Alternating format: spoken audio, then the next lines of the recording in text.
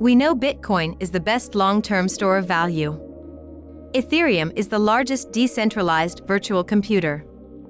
And there are literally thousands of other cryptocurrencies. So it is fair to ask, what is the utility of seasonal tokens? Right. Bitcoin was designed as a peer-to-peer electronic cash system, but people are buying Bitcoin as an investment, because of its potential as a long-term store of value. It has been an extremely good long-term investment, in the sense that its average price has been steadily rising over time. But in the short term, it is a high-risk investment, even for the more experienced traders. Seasonal Tokens system was designed as an investment instrument that can increase its long-term value, even during bear markets. Now, this sounds too good to be true, so let me give you a concrete example.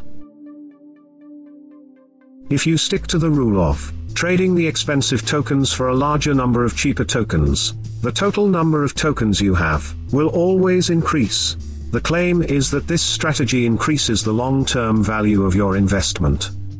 Because, the relative prices have been engineered to oscillate around each other over time. But you don't have to take my word for it. Let me show you how it works with a real-world example, using the token's price history. Someone who held one summer token before June, would have gotten, on average, about 1.2 spring tokens for it at the time. On the 5th of June, the spring cost of production doubled, putting upward pressure on spring's price. Four months later, spring has become the most expensive of the four tokens. A spring token is worth 1.5 summer tokens today. If you had 1.2 spring tokens, you could trade them for 1.8 summer tokens. So, before June, a person holding one summer token had two options for the time between then and now. 1. Hold the one summer token. 2. Trade the one summer token for 1.2 spring tokens, and then trade those 1.2 spring tokens for 1.8 summer tokens today. By taking option 2, the investor would make an 80% profit measured in summer tokens, over the course of four and a half months. With other cryptocurrencies, option 2 is not there. Is it useful to have option 2 there? Sure it is. Regardless of the external market conditions and the dollar price of the tokens, having 1.8 summers is better than having just one. And you are not taking risks, trading your expensive tokens for a greater number of cheaper tokens. Because the relative prices will oscillate around each other, and eventually, the cheapest token will become the most expensive. So that's the utility of the tokens, they add an option to your menu of investment decisions. The option to increase the total number of tokens you have. But there is more? In other proof-of-work cryptocurrencies, mining and investing are separate enterprises. When the halving of the mining supply occurs, some miners go out of business, they have to overcome the doubling of the cost of production all by themselves.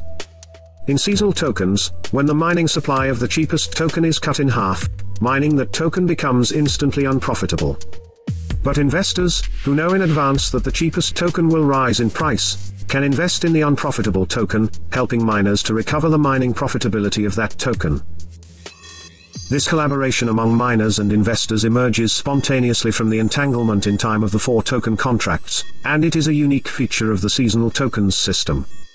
Check out this video to learn more about it. To summarize, the utility of the seasonal tokens system is it allows you to increase the long-term value of your investment, even during bear markets. It gives you the option to increase the total number of tokens you have without investing more fiat currency. It is a more efficient way of producing cryptocurrencies, allowing investors to make profits by helping the mining economy.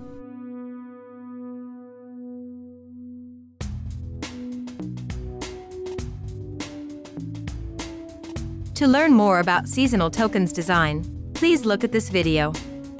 And don't forget to subscribe.